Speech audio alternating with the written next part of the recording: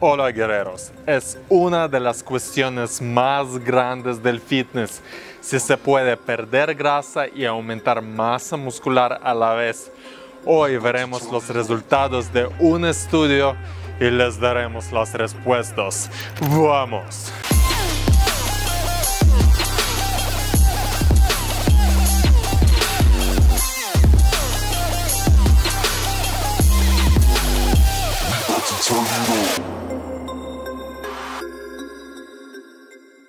Guerreros, desde el punto de vista fisiológico parece imposible perder grasa y aumentar masa muscular a la vez, porque el estado de pérdida de grasa es estado catabólico, en cual debe haber déficit calórico, y el estado de ganancia muscular es anabólico, en cual el cuerpo está creciendo. Normalmente cuando uno hace dieta también pierde masa muscular, de 30 a 60% aproximadamente. Perdiendo músculo también lleva a la pérdida de fuerza y desanimación de seguir entrenando. Pero afortunadamente hay una manera que permite lograr esta meta sagrada de ganar músculo y perder grasa a la vez. Y la solución es pasar más tiempo en el estado anabólico que en el estado catabólico. Y para entender este concepto y que esto realmente funciona, vamos a mirar a los resultados de un estudio conducido por la Universidad McMaster en Canadá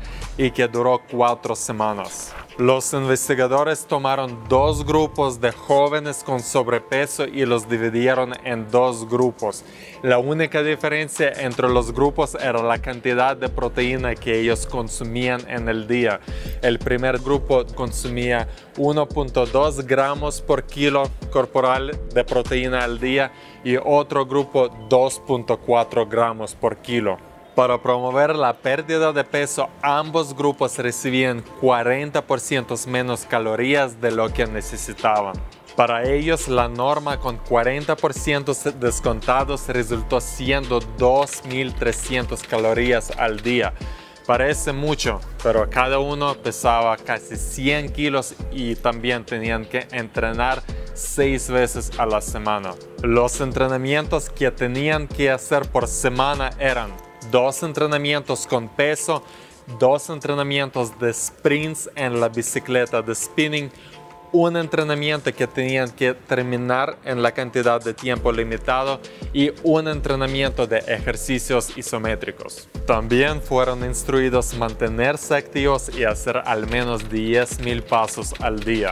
Este, digamos así, reto fue un poco extremo porque los participantes reportaban hambre pero en el final del reto todos sabrían si ellos perderían su masa muscular también. Los resultados fueron muy impresionantes. Ambos grupos perdieron el peso. El primer grupo que tomaba 1.2 gramos de proteína por kilo perdió 3.5 kilos de peso y el segundo grupo 4.8 kilos de peso. Ninguno de los grupos perdió músculo y atención, el segundo grupo que tomaba 2.4 gramos de proteína por kilo aumentó 1.2 kilos de músculo por persona. En ambos grupos la fuerza, poder y resistencia en entrenamientos con límite de tiempo aumentó sin diferencia notable entre los grupos. Los investigadores fueron muy impresionados porque esto fue uno de los primeros estudios que demostró que cuando la dieta y ejercicio están bien controlados, es posible perder una buena cantidad de grasa y construir el músculo a la vez. Ellos dicen que fueron cuatro claves de éxito. La primera clave es, los investigadores dicen que lo más probable que lo que aumentó y aceleró la pérdida de grasa fueron los entrenamientos de alta intensidad en la bicicleta de spinning. Además, dicen que es justamente este tipo de cardio que ayudó a perder grasa sin perder el músculo. La segunda clave fue el consumo alto de proteína de 2.4 gramos por kilo que ayudó a crear el ambiente anabólico positivo para el crecimiento muscular. La tercera clave fue la dosis alta de proteína de 50 gramos que ellos recibían justamente después de entrenar. Así que amigos, después de entrenar, asegúrense de comer buena cantidad de carne o pollo para dar al cuerpo todo lo necesario. Y la cuarta clave fue que el estudio fue muy bien controlado con la dieta y ejercicio, así que los participantes no pudieron engañar a los investigadores con la dieta y ejercicio. Para ustedes amigos, esto significa tener disciplina si quieren lograr los mismos resultados. De hecho, son todos los puntos que está cumpliendo Manuel en su camino del guerrero. Él estaba instructado a hacer los entrenamientos en la bicicleta de spinning en los días cuando estaba descansando de los entrenamientos del reto. Sus cambios fueron muy obvios, así que amigos, esto sirve no solamente para las personas con sobrepeso, sino también para las personas que quieren definir más, reduciendo el porcentaje de grasa corporal y aumentar de masa muscular a la vez. Amigos, basado en lo que ya escucharon en este video, ya deben tener muy buena idea sobre lo que deben hacer para perder grasa y aumentar músculo a la vez.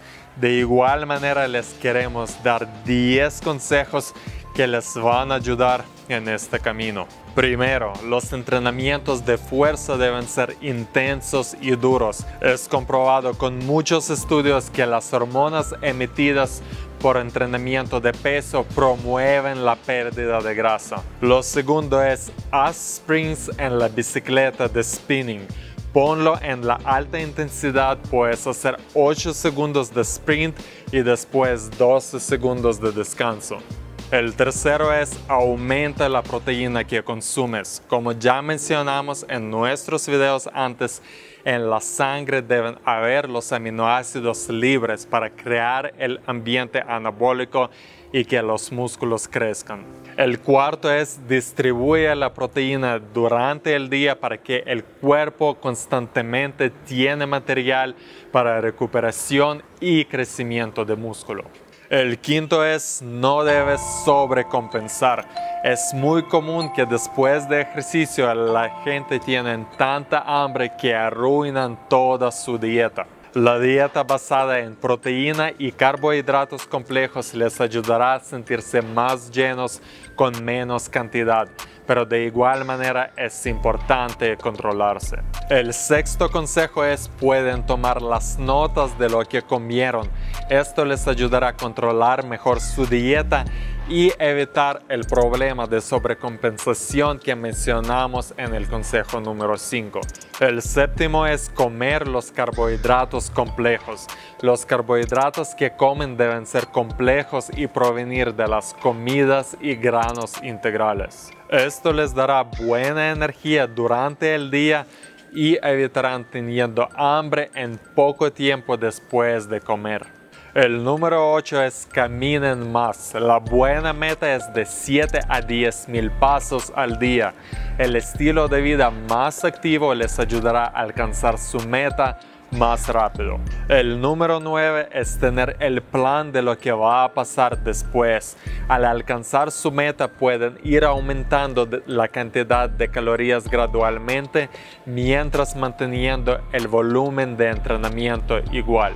Y el número 10 es evitar el estrés y reducir la hormona responsable por el estrés cortisol al mínimo. Para lograrlo les recomendamos suplementarse con las vitaminas B y C, dormir bien, descansar bien, reducir el estrés psicológico meditando o respirando profundo.